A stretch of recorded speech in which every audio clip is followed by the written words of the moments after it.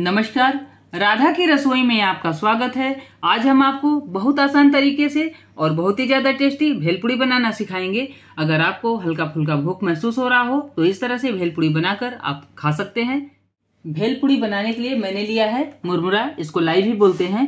आलू भुजिया, रोस्ट किया हुआ मूंगफली, एक प्याज टमाटर, धनिया की पत्ती और पुदीने की पत्ती को बिल्कुल बारीक काट कर ले लिया है। काला नमक, चाट मसाला, कश्मीरी लाल मिर्च पाउडर, टमाटो केचप। तो चलिए, भेलपुड़ी बनाते हैं। भेलपुड़ी बनाने के लिए मैंने लिया है एक बोल। उसमें डाल देंगे सबसे पहले ये मुरमुरा।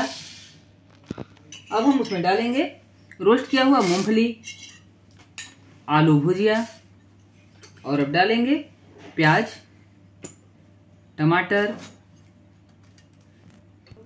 और अब डाल देंगे धनिया की पत्ती, पुदीने की पत्ती और अब डालेंगे एक चम्मच चाट मसाला टेस्ट के अकॉर्डिंग काला नमक और अब डालेंगे एक चौथाई चम्मच लाल मिर्च पाउडर, कश्मीरी लाल मिर्च पाउडर और अब डालेंगे एक चम्मच टमाटो केचप। सारी सामग्री को अच्छे से मिला लेंगे।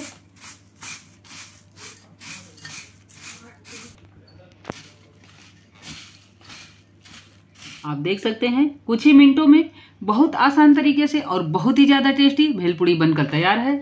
आप लोग भी इस रेसिपी को ट्राई करिए। अगर आपको हमारी ये रेसिपी पसंद आती है तो मेरी वीडियो को लाइक और चैनल को सब्सक्राइब करिए। एक बार एक भेलपुड़ी आप भी इस तरह से बनाकर देखिए।